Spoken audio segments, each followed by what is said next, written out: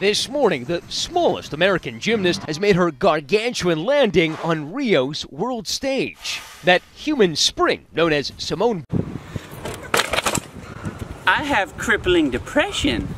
Leading the American women's gymnastics team in team qualifying Sunday, dominating China and Russia, who dominated the. I have osteoporosis. And current team captain Aly Raisman, at 22 years old, now back on Olympic. I'm gay.